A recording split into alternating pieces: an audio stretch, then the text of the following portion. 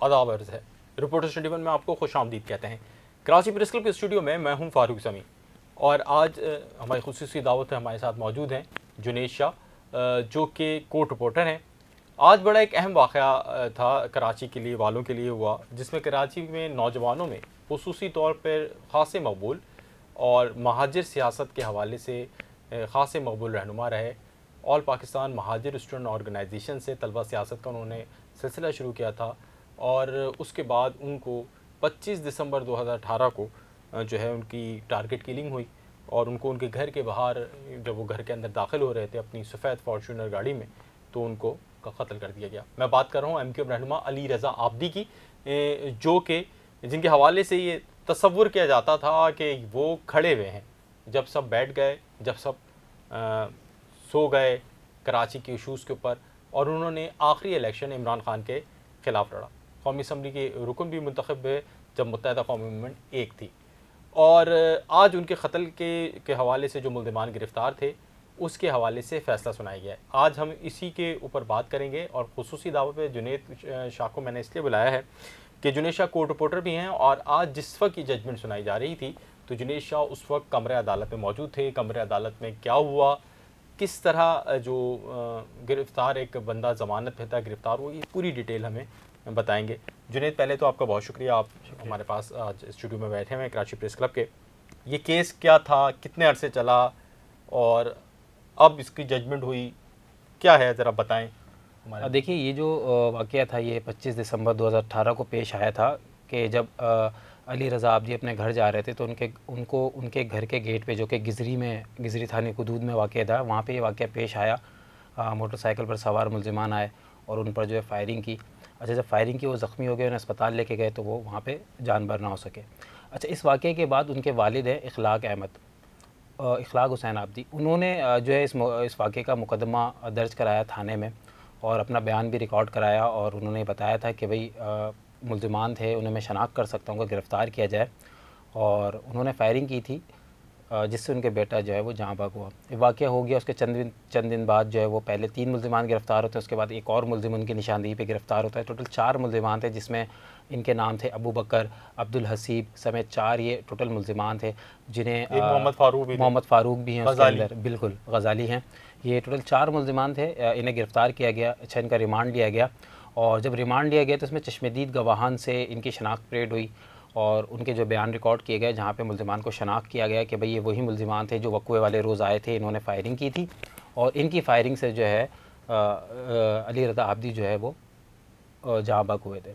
अच्छा उसके बाद ये मुकदमा चलता रहा जब अच्छा वो शनाख्ती परेड का भी बताया ना जब शनाख्ती परेड हुई किस तरह लोगों में खड़ा किया लोगों को और उनको अच्छा जब ये शनाख्ती परेड का एक अमल होता है क्योंकि कानून के तहत होता है कि डायरेगा मुलजिम को अदालत में शनाख्त नहीं करवा सकते ये ये कानून है। तो जब मुलजमान को पेश किया जाता है तो उनको कपड़े से यानी कि ढाप रखा होता है मतलब ढापा हुआ होता है, उनके चेहरों को छुपाया हुआ होता है, उसके बाद कमरे अदालत को बंद कर दिया जाता है। दरवाजे बिल्कुल बंद कर दिए जाते हैं, मजिस्ट्रेट आके बैठते हैं सामने, जुडिशल मजिस्ट्रेट जो होते हैं, उनके सामने मुलजमान के बीच में दीगर लोग भी खड़े किए जाते हैं। तकरीबन 10 से 12 की तादाद होती है जिसमें कह सकते हैं कि साइलिन भी होते हैं अदालती स्टाफ भी होता है। बाज़ तो हम रिपोर्टर्स भी उस शनाख्त तो में खड़े खड़े होते हैं। हम्म। तो उनके दरमियान जो चश्मदीद गवाह होता है वो शनाख्त करता है कि भाई हाँ इनमें से ये मुलिम था जिसने उस दिन ये वाक़ किया था। तो जब ये शनाख्त का एक अमल होता है उसके बाद उस शनाख्त प्लेट को जज जो है अपने कलम से तहरीर करते हैं उसको सील करके उसको मुकदमे की फ़ाइल में रख दिया जाता है जो कि उसके जो ट्रायल कोर्ट में ट्रायल कोर्ट में ओपन होती है वो। हाँ। अच्छा उसके बाद हुआ ये कि पुलिस ने जब चलान पेश किया तो उसमें टोटल 18 गवान के नाम शामिल किए गए जिसमें मकतूल के वालिद ख़ुद भी शामिल थे। अच्छा एक सिक्योरिटी पे मर, पर मामूर जो थे एहलकार वो भी मौजूद थे। बाकी जो पुलिस वाले थे उनके गवा उनके नाम उन्होंने शामिल किए। जब ये केस तकरीबन 2018 से 2024 यानी कि आज तक ये जेर समात था। आज इसकी जजमेंट जो है वो एटीसी कोर्ट जो कि सेंट्रल जेल में कायम है एटीसी 15 नंबर ने ये आज अनाउंस की। अच्छा जब अनाउंस की तो इसमें जो तीन मुलजमान थे, उन्हें तो सेंट्रल जेल से पेशी पर लाया गया था। लेकिन एक मुलजिम था अब्दुल हसीब, जिसकी उम्र तकरीबन आज जब हमने इसको नोट किया कमर अदालत में, मेरे ख्याल में बीस बाईस साल के दरमियान वो लग रहा था, या पच्चीस भी कह सकते हैं आप। तो जैसी जजमेंट अनाउंस हुई तो देखने में आया कि बाकी तीन जो मुलजमान थे, उन्हें उनके चेहरों पे मतलब ऐसा नहीं था कि उन्हें अफसोस हो या एक होता है ना कि एक सज़ा हो गई, एक खौफ होता है, एक डर होता है या एक निदामत होती है, इस तरह के वो देखने में मंज़र हमें नज़र नहीं आया, बल्कि उन्होंने जजमेंट सुनी, उसके बाद जो वहाँ पे मौजूद थे रीडर उन्होंने कहा कि भाई आपके पास सात दिन का टाइम है अपील करने का। तो उन्होंने तस्दीक की हम सात दिन में इसको अपील कर सकते हैं, आला अदालत में उन्होंने कहा, बिल्कुल आप अपील कर सकते हैं। वो तीन मुलजमान तो चले गए, लेकिन जो ज़मानत पर रहा था अब्दुल हसीब क्योंकि उसकी ज़मानत मनसूख हो गई, अदालत ने उसको उसी वक्त गिरफ़्तार कराया कमरे अदालत में और जेल भेजने का ऑर्डर दिया। तो जब उसने फ़ैसला सुना तो 10 से 15 मिनट तक तो वो हैरान था कि क्या हो गया। उसके बाद वो रोना शुरू हो गया कमरे अदालत में। आँसू जो है उसके आँखों से जारी हो गए। तो ये एक मंज़र बड़ा अजीब लगा कि मतलब ये कह सकते बहुत कम ऐसा देखने में आता है कि कोई मुलजिम या मुजरम कमरे अदालत में सज़ा सुनने के बाद रोता है। मे भी शायद कि उसे अपने किए पे अफसोस हो रहा हो, क्योंकि उम्र कैद पच्चीस साल होती है। शायद उसके जहन में ये आ रहा हो कि मेरी जो उम्र का जवानी का हिस्सा है, वो मुझे जेल में गुजारना पड़ेगा मेरी एक गलती की वजह से।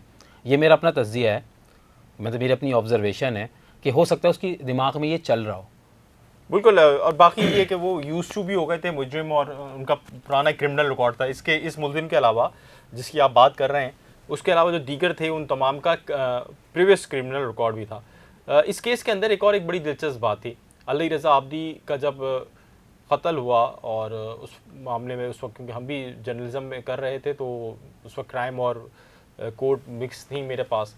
तो जुनेद मैं वहाँ पे इस केस के हवाले से दो चार लोगों से रबता हुआ। तो शुरू में जब ये मर्डर हुआ तो जो पुलिस की इतने हाई प्रोफ़ाइल हवाले से और उस वक्त के वजी अला ने उस वक्त का नोटिस लिया था इस केस के उनके मर्डर का लेकिन इस केस की तफ्तीश पुलिस की जानब से बिल्कुल नहीं हो रही थी। और इस केस के अंदर जो मुलजमान गिरफ़्तार हुए ये मुलजमान बुनियादी तौर पर नाजायज़ असले के मुकदमे में जो मेरे मालूम इस वक्त दुरुस्त हैं हूँ तो मोहम्मद फ़ारूक सबसे पहले गिरफ़्तार हुए थे।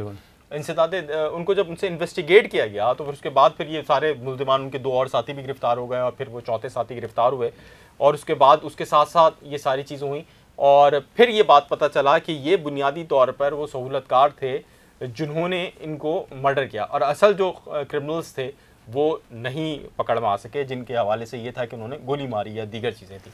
और इसमें, इस केस के अंदर एक और एक दिलचस्प बात यह है कि इस केस के अंदर ये तो बता दिया गया कि सुपारी लेकर उन्होंने मर्डर किया, लेकिन करने वाला कौन था? किसने इसका कत्ल करवाया?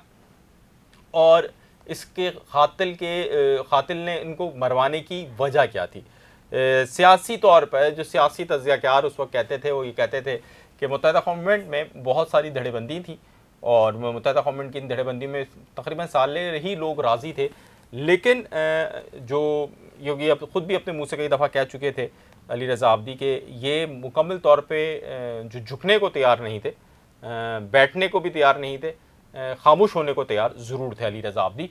और शायद यही वजह जो है वो बहुत सारे उनके जो लोग थे, जो उनको पसंद करते थे, उनकी मकबूलियत की वजह, दीगर मुतहदा गवर्नमेंट के, उस वक्त की जो मुतहदा गवर्नमेंट थी उसके जो लीडर्स यहाँ पर मौजूद थे पाकिस्तान में, क्योंकि आपको पता है कि 2016 के बाद खासा रिफ्ट थी और ख़ासी परेशानी के आलम में थी मुतहदा गवर्नमेंट लेकिन उन तमाम में अगर कोई मकबूल थे तो ये थे। और उस वक्त जब इलेक्शन लड़ा इन्होंने मुतहदा गवर्नमेंट पाकिस्तान की प्लेटफॉर्म पे 2018 का, वो इमरान खान के ख़िलाफ़ लड़ा था।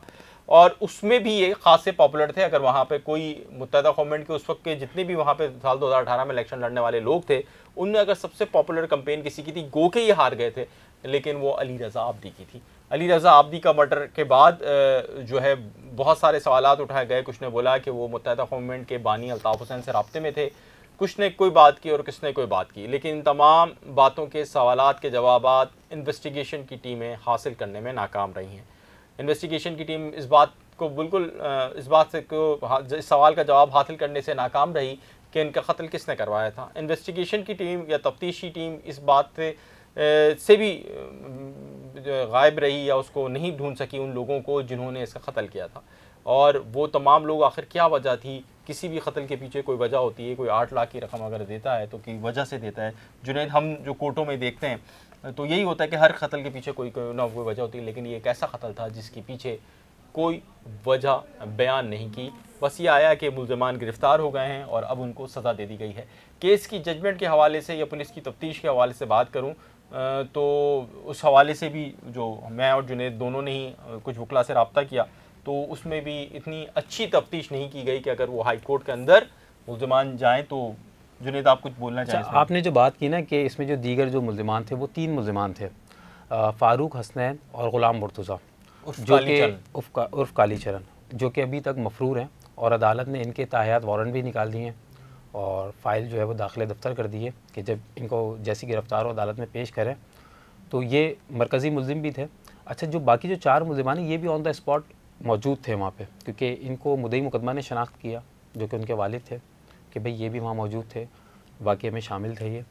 लेकिन आप बिल्कुल सही कह रहे हैं, क्योंकि जब मुलिम फ़ारूक गिरफ़्तार हुआ तो तेईस ए के असले के मुकदमे में गिरफ़्तार हुआ, और जब उस तफ्तीश की गई तो उन्होंने कहा कि भाई हमने इससे तफ्तीश की है इंकशाफ किया है कि ये अली रज़ा आब्दी के कत्ल केस में है।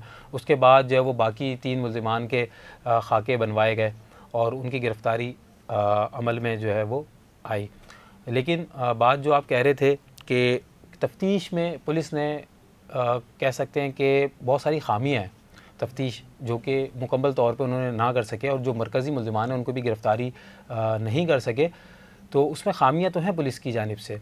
हाई कोर्ट में जब ये चैलेंज किया जाएगा तो मे भी हो सकता है कि जजमेंट को ख़त्म कर दें उड़ा दें मुलजमान बरी हो जाएँ। बिल्कुल ऐसी है। ऐसी है क्योंकि जो पुलिस ने जो तफ्तीश की तो वो इंतहाई नाकिस है। अब लेकिन एटीसी के अंदर जो सज़ा मैं आपको एक, एक और चीज़ वाजह कर दूँ कि प्रेशर अदालतों पर भी होता है। ठीक है? इस तरह के जो मुकदमात होते हैं सियासी जो मुकदमात होते हैं ख़ास तौर पे क्योंकि सियासी मुकदमात में लोगों को कहते हैं कि भाई ज़ाहिर से ज़्यादा बर्डन है। तो ऐसे मुकदमात में अदालतों पर भी प्रेशर होता है। तो ज़रूरी नहीं कि जो जजमेंट यहाँ हुई है वो हाई कोर्ट भी वही जजमेंट बरकरार रखे, हाई कोर्ट उसको ख़त्म भी कर सकता है। बिल्कुल, ऐसे ही है। और केस की तफ्श के हवाले से जुनेद ने बताया, मैं इस मतलब ये कोई बहुत ही कोई ऐसी वाक़ा नहीं है कि जिसके हवाले से हम बहुत जज्बाती होकर बात कर सकें, लेकिन एक बात इस केस की एंडिंग करने से पहले मुतहदा कौममेंट इस दौर में इनका, क्योंकि मुतहदा कौममेंट पाकिस्तान से, बहरहाल कुछ भी हों, इनकी हमदर्दियाँ मुतहदा कौममेंट के मरकज़ी जो कायद थे, उस वक्त के बानी के साथ रही हों या जो भी हैं, इसके ऊपर से इन तमाम सवाल से हट के इन्होंने मुतहदा कौममेंट आखिरी इलेक्शन मुतहदा कौममेंट पाकिस्तान की प्लेटफॉर्म से लड़ा था।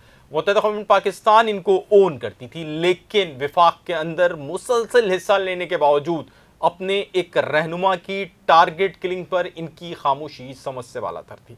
इसके साथ साथ एक और एक बड़ी मती की बात कि विफाक में रहने के बावजूद और आज इस जजमेंट के बावजूद मुतहदा कौमी मूवमेंट के रहनुमाओं का रिस्पॉन्स नज़र में नहीं आया।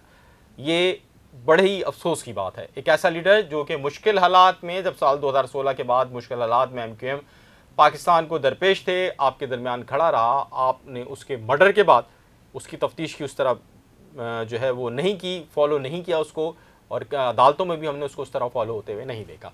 इसके साथ साथ मैं आज एक छोटी सी तासुरात जो उनके वालिद साहब के थे, एक महफिल में वो बैठे थे और बात कर रहे थे तो उन्होंने कहा कि इस मर्डर के बाद उनका कोई भी ख़ानदान का फ़र्द इस मुल्क में रहने को, का ख्वाहिशमंद नहीं है और जो उनकी गालबन उनके एक बेटे बाहर हैं, वो वापस आना भी नहीं चाहते। उसके फ़ौर बाद इस मर्डर के बाद इनकी जो बखिया फैमिली थी अली रज़ा आबदी की वो भी मुल्क से बाहर चली गई।